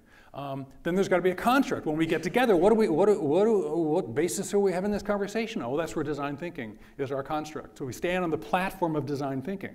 One of the reasons I think we have been successful, are we the first guys at Stanford to care about the formation of young student lives in a noble, meaningful way that will serve society? Heck no, are you kidding? There are lots of people who love this. We get lots of people come to us, you know, I've been, I've been working on this for 10 years. I go, great, keep going. Uh, um, and what they've struggled with is most of them live in places that look like they house an answer. I'm from the Ethics Center because you're probably unethical and we should fix you. I'm from the chaplaincy and you're probably insufficiently spiritual. You should get a little more transcendent. You know, I'm coming from the Meditation Center. I'm coming from, you know, the Service Learning Group. You should be out there doing community service. So everybody, a lot of the people who have been trying to help these questions look like they live in the land of should. And students have a really, really good toximeter smelling should from across the room, and they will run as fast as they can from people who, I've got your answer. No, thank you. So we appear to be incredibly low key agnostics. Like, hey, how's it going? Cool. So, would you, you know, like some more ideas about your life? Uh, okay. Well, we teach some tools and ideas, and you can just maybe get a little better at thinking up, you know, what you might want to do. Would that work for you? Yeah, cool. Come on down. You know, so just come on in. We'll give you some tools. You do whatever you want to with it. First thing we do is write your workview, write your worldview, do a values integration exercise. Now, if we called it the values integrated life, not an illegitimate name for the class, frankly, all four students would have a great time you know, but designing your life is in fact what we're doing, and it really is pretty attractive. So, so this construct, and, and if we do the container right and we do the construct right, we configure this thing right, we figure the rubric right, then the community will form around the table. With students in groups of nine, led by a, facil- a trained facilitator, you know, and then the conversation occurs. We argue you can't do this alone, you can't do this all by yourself. You can't, we create the conversation in our, in our sections, and the section cohort is the echo chamber wherein you can hear your own voice.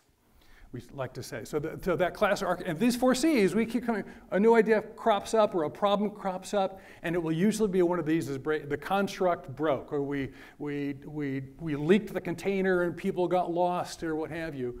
Um, these have been really impactful for us. Uh, the content is really simple. It's ideas and tools organized into a framework, which I showed you before. It is very important that it is not a system, it is not a theory, it's really barely even a method. It's literally a bunch of stuff, you know, again, and that's the framework, you know, and that's all the stuff. And so what we tell them on day one is okay, here's the stuff and it's rationally organized in these three chunks, and they make sense. We keep coming back to this framework as a correlation. But we don't pretend it's an oversimplified do steps one through nine and you'll be fine. It's nowhere near that simple. You're really smart people, you're all in different places. We're going to give you these tools. We'll teach you about 40 things. You'll probably buy into 12 to 15 of them at the most. So You'll skim the stuff off, you'll throw the rest away, or just put it in a notebook somewhere. And the only promise we make is if you, in fact, learn those ideas, like the reframes, and you think with the ideas differently than you did before, and you act with the tools differently than you did before, you're probably a little better off than if you'd done. That's the only promise we make. Um, and, and, that turns to work out fine, because it really respects the, it really respects the student. Now, again, why does it work? You know, uh, I want to focus in on, on the critical difference which crops up all the time. I mean, I'm out in the workplace, I'm out in the, the business world. I'm actually doing a pilot in a large corporation um, that I can't name, but they do a lot of search. Um, the, um, and I'm talking to a very senior uh, HR exec, um, not this woman, it kind of looks like her. Um, and she asked me just before I run this pilot with about 25 people, oops, you're right. Um, No, really, this really bugs me because I was the world's first mouse product manager. I helped the guys start Logitech, and this is bad design. Uh, um, but nonetheless, um, so she asked me, Dave, you know, we put a ton of work into our PDP, professional development program, how we nurture and grow our employees. You know, frankly, it still isn't that great. Do you know why? And I go, yeah, I do. I know why. And then she says, uh, will you tell me? I said, no, I won't. And she goes, that's kind of crummy, you know, and I kind of go, no, no, I'm not going to tell you, I'm going to show you. Bias to action. So during the day, the day goes along, and then we do that Odyssey plan thing. And everybody's really digging into it, and they're talking about it, you know. And I holler across them and go, hey, Jane. She goes, what? And I go, it's three, not one. It's three, not one. Because there's more than one of you in there. The amount of work we do that implicitly claims there is one optimal answer to your life. You know, have you figured it out yet? Who says it's it? When's the last time somebody asked you, have you figured, have you figured them out yet? Have you got the short list of incredibly viable alternatives between which you probably can't possibly discern a better or a worse, from which you will in fact make the best choice you possibly can? How's that going for you? Who's heard that question? But that's who you are. So if we're right on the human centered design piece, that the human empathy is that you are potentially more than one lived expression of the fullness of your character and your identity, then there isn't one of you. There's a bunch of you. And one of the reasons you never really buy that I'm doing it is because there isn't an it, there's a them. I'm going to pick an it from them. So if, I, if the systems we use with people, either corporately or educationally, better reflect the reality of who they are, their confidence in the answer goes up. It just comes up again and again and again. So the big reframe there is there is no right answer. There are lots of good answers to who you are as a person. so prototype, prototype, prototype.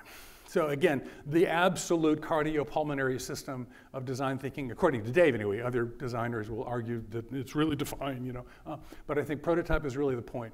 Uh, it's an empirical process. We know that we don't know what we're doing. We have to do this empirically. We're going to go try stuff, get some feedback, do it again, do it again, do it again, do it artfully, empathetically, all kinds of those things. Uh, but that's the core part of it. And that's, that's why you know, Dave and Tom will say fail often to succeed sooner. And their last book was Creative Confidence, which is about self agency and self efficacy, exactly what Rick was talking about earlier. So that's the core of this thing. And I think it's why it works. so, what are the learning goals? we this, this is the goal as stated of the students integrate your education with your hopes and dreams not jumping the um, you know, this is like yes um, you know tools in a framework to allow you to position yourself in the world you know find a place in the world to be locate yourself you know and do so with practices you can use lifelong that's what we're trying to teach you another way we put it is that the goal is not that you'll have an epiphany, you'll find your passion, and you'll have the plan for your life. So that is not what we're about. If you bump into that, if that happens, that's great but by no means do we promise that. We're very clear that this isn't what we're selling. Another way we put it is to enable conscious competency in life and vocational wayfinding. We make the case that you can learn how to be good at this stuff. We do not know the answers to your life, but you can be more competent at how to find them and how to live into them. So if I do, you know, as a former management consultant, I get nervous if I don't do a two by two matrix at some point. Um, and oversimplify the problem. So I can be an unconscious, incompetent, not even be aware that I suck at something. Um, I can be an unconscious competent, the natural, right? Um, I can be conscious incompetent. I know I'm no good at jumping because fast twitch muscles don't really happen in my family. Um, or I can be a conscious competent, somebody who knows they're good at what they do and why, and we argue that a conscious competency is an advantage over an unconscious competency because you can adapt, you can teach others, you can, you can be more flexible, and you, you just get to turn closed captioning on and enjoy the fact that you get it. And if you do that over time and develop mastery, you actually become an intuitive competent. You don't have to think about it, but you can access it if you want to. So that's, we're trying to enable students to have a conscious competency in this life wayfinding stuff. One of the number one things we hear back from students two, three, four, five years later is they call in and say, Guy, thanks so much, Dave and Bill or whomever they took it from. I'm not teaching the class anymore, I'm on the road talking about it. Um, and they say, because I was talking to my friends in my graduating class, and they're struggling. A lot of them hit the wall. They thought that was going to be the great first job, they thought they were going to love it in China, and it's not going as they had in mind. And they're going, oh my God, I guess I blew it. This isn't it. I made a mistake because I should have known. It seemed like a good idea at the time, and it wasn't. Those are all false, by the way, uh, usually. Um, and now I don't know, and, and, I thought I did it right the first time, and I don't think I'm any smarter about it now, so I got to make a change, and I don't even trust the person in charge of that, which is me. And our students call back and kind of go, I notice I don't feel that way. I'm really happy I don't feel that way. Thank you that I don't feel that way. You know, I, I, I, it's not just that I feel that way, but I actually know that I know how to navigate forward in my life. And I'm trying to help my friends do the same thing. You know, phew, that's better than not. So that's, that's the thing we're trying to do. The results, uh, first of all, the evaluation data, do the students like it? The red bars are us, the brown are the engineering norms. Engineering teaches pretty well at Stanford.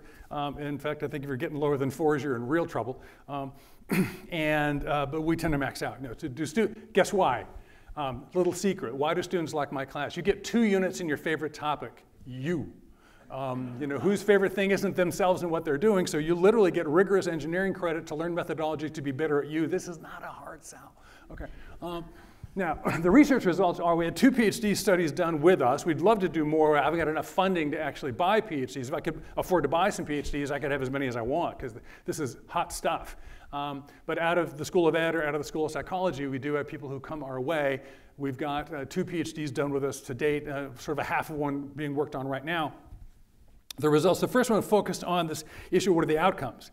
And the first one, uh, the, the results were threefold um, an increase in career self efficacy, and it's hard to see the numbers there. So the, the class members are the blue line, the purple line are the people who signed up for the class but couldn't get in because we thought, well, gee, maybe all we're doing is selecting the students who will grow through this on their own.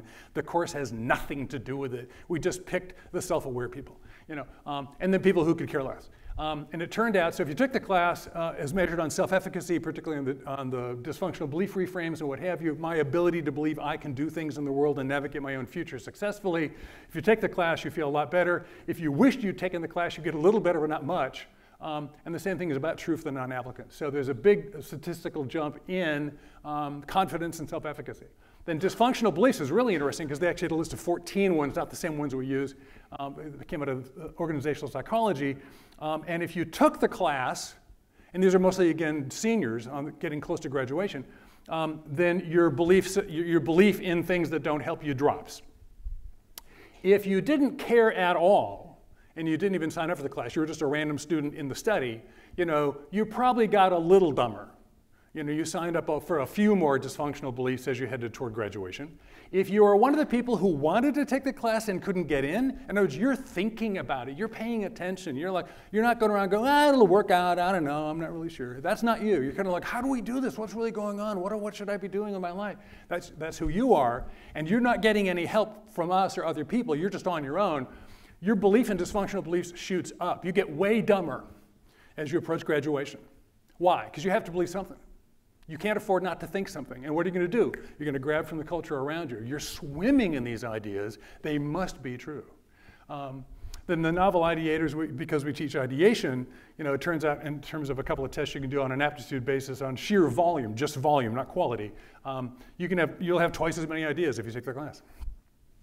So those are real results. The second study was more qualitative in nature. It was about formation and moral issues. It was looking at um, personal growth initiative or agency in, in, uh, described as a particular attribute studied work development striving competence.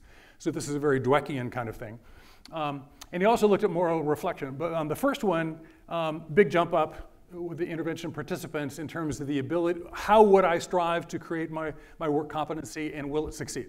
Uh, it's a pretty comparable result. On the reflection moral alignment, that's just a correlation. There's a high correlation between doing the reflection exercises, we do a lot of reflection stuff, and being able to identify, am I morally aligned, what we call coherent. So your consciousness of your degree of coherence goes up if you formally reflect. Who knew? Um, you know, so that turns, we, we proved the obvious there because we do a lot of it. Uh, and then the last thing, which I'm actually perfectly happy about, the meaning in life quotient had no immediate effect. You don't feel more meaningful just because you're better at it. You feel more meaningful because you're better at it applied, puts you in a place where you're living more meaningfully. Thinking about being meaningful and thinking you might be able to pull off being meaningful doesn't make you meaningful. It makes you feel a little better, but you actually want to create the outcome. So our class doesn't create the outcome yet, um, so people are still applying it. So those are the formal research results. We're in the workplace, um, the people, the HR people who evaluate this kind of stuff, you people are probably smart about this. I'll just let you read. Um, this is what an organization who worked with us found uh, in terms of professional development. These people are mostly mid 30s.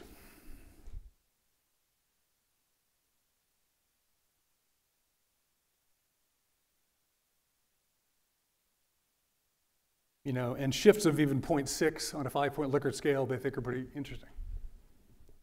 So, lastly, what have we learned? I'm just going to give you a list, and then we're going to take some questions, and we have time for a, um, a panel on purpose. Um, so from students, what have we learned? In fact, I thought about a bunch more as Rick was talking earlier today. Uh, that's, that's, a bunch of our students. Um, so first of all, expect students to treat each other wonderfully. I mean, you know, we forced you to talk to strangers about your impact maps. Um, we do that kind of thing all the time. We put people in small groups that get not uh, pretty talk about serious things, not necessarily hugely divulgent things. They might be divulgent, um, but certainly very serious things that matter. and they really treat each other well. It, it's one of the great joys of doing this work is to see how much people want to help one another become their better selves. Um, freshmen are not seniors who are not PhDs. Um, the work we do when the undergraduate ed organization came to us and said, hey, we love the way you're helping seniors graduate into the world and PhDs graduate into the world, you know, um, how about helping freshmen arrive? Couldn't you design your experience as an education, not just design what you do with your education in the world? And we kind of go, sure. Um, you know, we tend to say yes. Um, boy, was that a lot of trouble. Um, it turned out uh, it's a very different task, um, and what's going on with freshmen and with seniors and with PhDs is really quite different. I won't go into why. Um, but the first thing is watch out for what venture capitalists will tell you about painkillers versus vitamins. So you walk up to a Stanford, you know, spring junior or winter senior, and you go, so Susan, so graduation's coming. I know, I know. Have you got it figured out yet? No, I really don't. You know, would you like some help with that? Yes, that'd be great. You know, because they're suddenly realizing that you know, this thing they've been really good at, called school, is over. What I call the decision explosion, you know, happens, and they suddenly realize they can do anything they want. Now you can keep signing up for that, you know, South Park cartoon and go to grad school and get a PhD, and then get a postdoc, and then go into research. I mean, you can you, you can get to about 70 before you actually have to do something other than just win the school game. Um, but once you realize that's not it, and then it's up to you, um, that's kind of a brain detonating reality. So the seniors are very motivated. In fact, our first pilot was in the spring. And I went to the, the Career Center guy that helped fund it, and he, even though it wasn't just about career, and he, I said, Lance, this is crazy. You know, the graduating seniors have got this all figured out. Nobody needs to take this class in the spring. He goes, oh, you're going to have plenty of students. You know, and trust me, and, and our spring class is the most attentive. Like, you're graduating soon. I know, I know. And we'll be covering this in week three. I need it by 4 p.m. I'm talking to a guy. Could you tell me now? You know, so I mean, the spring students are really motivated. Um, and um, but, the, oh, that's, that's painkillers. Now with a freshman, you go up to a freshman student. You know, how's it going at Stanford? Oh, it's going great. You know, are you super stressed? Yes, I am. But I thought that was normal, so I don't mind. I just take more Ritalin. It's okay. Um, that's a huge issue. I don't mean to joke about it. Um, and uh, in fact, the, the mantra of the Designing Your Stanford class is learning how to get more out of, not cram more into your Stanford experience. That's our mantra. You know, and there's a picture of a pearl opening and a picture of a guy jumping out of a suitcase trying to get the damn thing closed. Um, don't be this guy, you know. Don't stay up all night on Ritalin and try to cram more in. But the, but the vitamin for the freshman and the sophomore is, you know, I, th- I think it's going fine. Hey, how would you like Stanford to be a little better? Okay. You know, would that be great? Sure. You know, um, so it's in fact the most common feedback coming out of the freshman class is, "Gosh, I got more out of this than I thought I would." Expectations are relatively low. So you know, what you know, if I got a severe headache, you know, please do you have any Excedrin migraine? I really want that. You know, the painkiller business is about 5x the, the, the vitamin business. Vitamin business is a multi-billion dollar industry, but it pales by comparison to painkillers. What happens if I don't get my Excedrin? My life is over. What happens if I don't take my vitamin C today? Well, I guess it's going to be Wednesday. You know, um, you know so, so if you got that kind, that's a vitamin. And so um, depending which constituency you're working with and what question you're asking, knowing the difference between offering people a vitamin and a painkiller is huge. Um, PhDs are in substantial, I know we're in undergrad land here at Olin, but boy, the most unserved population are PhDs. We keep acting like they've got it all together and they don't. Um, design it, run lots of prototypes, never stop. Apply, you know, if you're going to teach design class, you got to keep designing it because we walk our talk, this makes me crazy. We brief for half an hour to an hour every single module we teach, whether teaching team, every single time we teach it, and we debrief every single module we teach, every single time we teach it for about a half hour. It's a ton of work, which means we come up with changes constantly. I have terabytes of variations of the same modules. Um, it's a huge pain in the butt, frankly, but it's absolutely crucial. um, elective only required is a disaster. Completion credits, even. So, um, absolutely do not make these kind of courses required. Uh, it's a long story I won't bore you with right now, but you know, you make somebody want to design their life. It's not just that they'll have a bad time; they'll make sure everybody else does too. Like if I'm not, you know, because what happens is I pull back and I go deconstructive, like as opposed to the question was, you know, so how did you feel about these different places on the impact map? Where's the where's the tension for you? And you're supposed to speak in the first person active voice. You, and you don't want to, you don't want to answer the question. But you're a smart Stanford student. You figured out how to play the game of school. So what do you do? You go third party passive voice deconstructive. Well, I think this is a really interesting way to look at this question. I notice what you guys are talking about are these values and so on. I'm not sure that's really where I'm coming from. You know, and then all the other little really, really, really well trained, you know, school winners unconsciously recognize like, oh, oh, oh, not safe. Okay, me too. And you can literally hear the heads of the turtles popping into the shells all around the room. You know, you know, they all go down and nobody's playing and we're all going deconstructive like it's done. We're, it's game over. Um, so watch out for the required thing. It doesn't work. And even completion credits. At one point, we were invited to apply to become a creativity fulfillment requirement um, in the undergraduate uh, environment at Stanford. And Bill and I talked about it for a long time and turned down the opportunity because even just taking it for the easy units to get that design credit um, maybe it wasn't the reason to be in the room. We knew we'd get more students with that. There's no question we'd get more students. Um, and you probably could convert them from just looking for easy units to actually becoming more transformed people, but we just didn't, we just didn't want to engender the risk. Um, clearly working groups, you can't, I mean, the student groups, you can't do this alone. Um, let former students facilitate. We were resource limited for years uh, in terms of the people who facilitated the small groups. And students said, we can do this. All we need to do have, is have taken the class. We're going to be good enough to help our peers. In fact, we're better at it than you because we understand them better than do you. We said, prove it. They said, fine. We did two prototypes. They were right. We haven't had a resource problem since. So we no longer turn students away. Uh, we use students as staff. They do a great job. Um, make it real. You can't fake this stuff. Um, watch boundaries. Stick to your construct. Don't overshoot or overstep. That, that's a white paper. Um, um I teach at a secular, inclusive institution. We regard all points of view. We are vigilant about our inclusivity. Um, our construct is design thinking. There are points of efficacy we could probably do that I don't necessarily think are beautifully supported as a design thinking implementation, and I won't go there. Um, so there, we, we leave good things undone by staying within the boundaries of the justification of the work we do, the stuff that we think the majority of students can respond to appropriately. It's not that we're terrified of offending anybody, I offend people all the time. Um, but we want to be very cautious about this thing. We're in an institutional environment and we don't forget that. Our number one problem with both students and volunteer helpers is wanting to do too much. We need to do this too, we need to do this. They really need, oh, they may need that, but their need is not your ordination. Here's who we are. Here's what we can do. Here's the gift we're giving. It's making things a lot better than it was before. We leave this campground better than we found it. Don't try to go play, don't suffer the Icarus effect. Don't overshoot, don't overstep. Um, it's all about the details. Lots of all nighters. Um, beware instructor hypocrisy. You start teaching this stuff, you have never had a chance to be a hypocrite like this. You know, my wife constantly says, uh huh, there's this class at Stanford. You should take it. I hear it's really good. Um, and you know, and students are very precise in their observation. You know, if you're walking around not walking your talk, you're in some serious trouble. So if you want to sign up to teach this stuff, better have your coherency act together. And this is incredibly gratifying, fun work to do. You know, so a lot of teachers will say, and I think this probably is not true at Olin. You know, you know, you never really know if you're making a difference, and you're out there and you're teaching, you're doing the best you can for your, you're just giving into your students and giving it. But every now and then, you know, one comes back and says, "Gosh, you know, Dr. Smith, that really man. So I just love those. I've got a little drawer here. I've got five of these notes here. They really good. I get six of those a day." I mean, selfishly speaking, because we're talking about these issues and because we're enabling people to do stuff that matters to them, this matters to them. You know, if you're looking for gratifying work, come on down. This is really killer. Um, from colleagues, because we've been working with some other schools getting started now, um, respect that this could be hard to get started. depending, uh, you know, Olin would be easy because, you know, pedagogically and paradigmatically, we're always in alignment. That's not true a lot of places. Be smart, opportunistic, and incremental.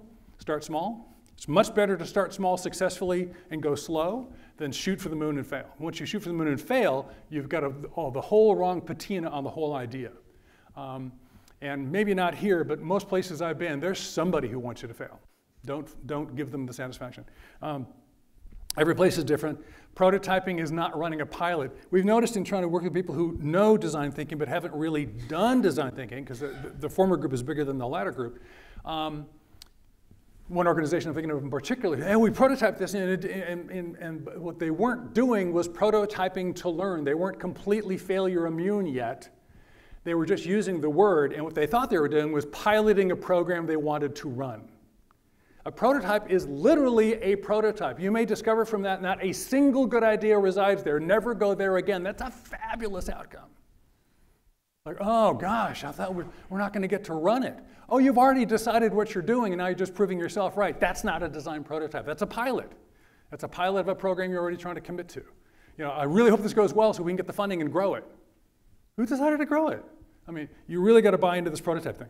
Um, work in team is preferably cross-functional, involve students whenever you possibly can, and once again, caring educators are incredibly wonderful people. The people we get to work with both at Stanford and elsewhere who care deeply about student lives and want to invest and want to be clever and efficacious are just fabulous people. I mean, it's really, I got the coolest job on the planet.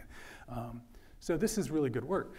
Um, with that, a couple of minutes of questions before we jump into Rick's panel on purpose.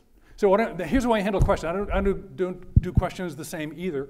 Um, I'll take a bunch of questions.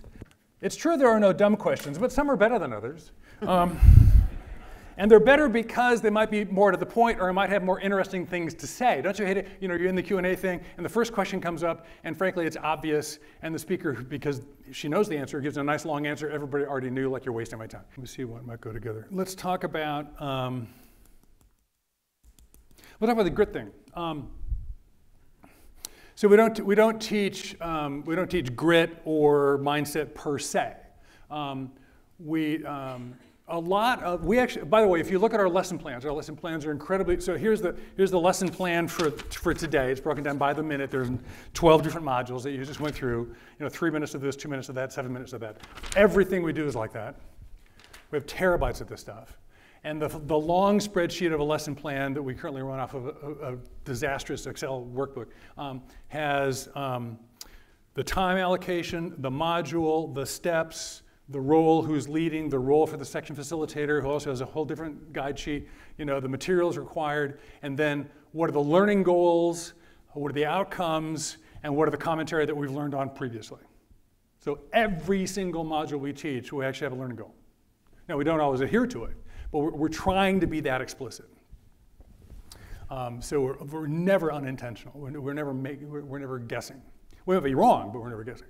Um, so on the grit thing, we, uh, a, lot of our, a lot of our lesson goals and outcomes are not taught. One of our lesson goals is to learn active listening. You'll never see that term on a slide. You'll never see that term on a curriculum, but we create very specific rubrics for how people debrief conversations. We do that over and over again, and regularly students come back to us and tell us, you know, one of the things I really, you know, what I really noticed by the end of the quarter is um, the way we talked in section. I think that's kind of important. I got better at it. I really appreciate that. Oh, cool.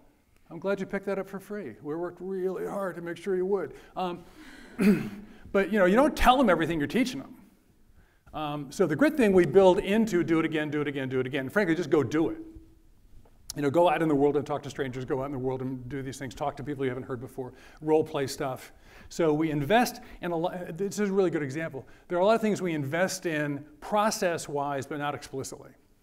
Um, which gets me to the baked into the core a little bit. So could this be baked into core curriculum? Uh, sure. I mean, it can be, this, this can be cultural. Um, what, we got asked by the head of undergraduate advising after we'd had a couple of years of success, finally, and by the way, the growth of designing your Stanford is like this really slow, linear, organic growth. DYL went like this, you know, and, and has been hovering around you know, somewhere between 10 and 17% penetration of each, each graduating year, depending on the year, comes and goes. Bill and I have a long running argument about what's the maximum penetration. If we did our job brilliantly, including other forms of delivery that don't take two units of your transcript time, which is a ton, uh, um, where would we max out? I mean, we're undoubtedly not teaching stu- some students we could and should, and, and if we solved all that problem theoretically, what's the max? I think it's you know 18 to 25 percent. Bill thinks it's 50. I happen to be right, um, but that's okay. The, um, uh, but you have to answer the question: How far can you go with this? How many people, frankly, are ready to be that intentional about their lives? You know, um, that's that's a, that's a bit, an interesting question. Um, thoughtful, you know, change is inevitable, growth is optional. Thoughtfulness seems to be, you know, not all that popular these days. Um, and uh, so you have to decide where your students are on that, on that issue. So core curriculum-wise, I, I would be nervous to put stuff explicitly in that you weren't confident lots of students would want to participate in, because it's going to ruin it for everybody. So I'd make it core in a way that allowed an opt-in uh, that was self-managing. Um, and I think it has a lot to do with what's going on in the culture. So I think you know, if we, we were asked by these undergrad ed people to take the Designing Your Stanford learnings and move this into a peer advising experiment. There are questions we'd like to help a lot of freshmen, particularly people who are doing pre-major advising. You haven't declared yet, so you, your advisor isn't from your department because you haven't got one yet. So you've got this other kind of an advisor. That relationship, pre-major advising, is kind of broken, has been apparently forever everywhere, they tell me. Uh, it's really hard to do. So how could we fix that? Well, we could, we could improve peer advising. And so we, we put together a whole program to do this kind of thing. Um, and that had to do with making it, and if it went, it would have been more available across all freshmen could do it. It's still an opt-in, but would have been playing around with making it a core function of new student orientation and freshman programming. Um, and after a successful uh, two-year pilot, you know, the undergraduate ed department decided not to proceed. You know, and we, and we, and we talked to them about what the, uh, it's a long discussion is what the issues are. Um, but determined it was tricky enough. Um, the, the, approach that one, that one idea we had was tricky enough that making it really last uh, over time without wandering off and becoming either boring or inappropriate was just not worth the expense and would have been expensive. Um, so I think when you're talking about baking into core, it depends on what your core is, how you teach it, what the culture of the organization is. I think with design-based learning already being true and wanting to look both at big issues and small micro issues as a default way of being just awake, and with a three-digit IQ at Olin, it'd be a piece of cake to bake it into your core.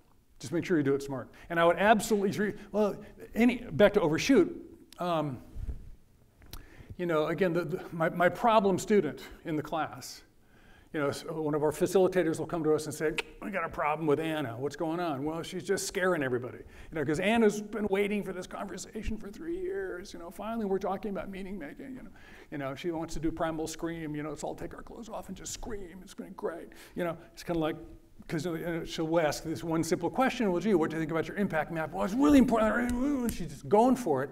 And she's operating at a level of intensity that the other students aren't at yet. And she's scaring them. She's just flat scaring them you know. Um, and so, you, honey, you got to back down. You know, no, it'd be great if everybody was operating at your level. You're taking this very seriously, but people aren't. You know, you're just in a minority. And the same would be true of some teachers. So the overshoot, the first overshoot is just intensity. I mean, I care about this so much more than my students think I do.